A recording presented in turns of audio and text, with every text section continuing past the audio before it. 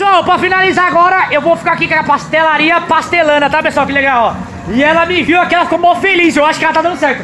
Pessoal, café da manhã, porções, cerveja, refrigerante, caldo de cana, pastel, hot dog, sorvete, milkshake, água de coco. E olha como é que tá bonitinho aqui, tá bem legal isso aqui. Olha só, gente, que bacana, tá vendo?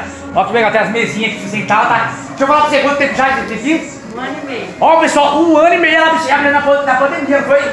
Gente, ela abriu na pandemia e ela me viu ali, ela já gritou, né? Ela já gritou, Branco Batista! Fala pra galera o que você tem aqui, pra pessoa que tá em casa, ela sabe assim, que mora aqui. O que você vende aqui pra galera? Você vende coxinha, Coxinha, salgado. salgado, salgado. Posso dar um oi pra galera, vai lá. Shake. Milkshake também. Tá vendo, pessoal? Aí você abre aqui, Das 10 às 20. Dá 10 a 20. Tem quanto tempo que eu vi aqui? Tem um ano e meio mais ou menos, né? Quase um...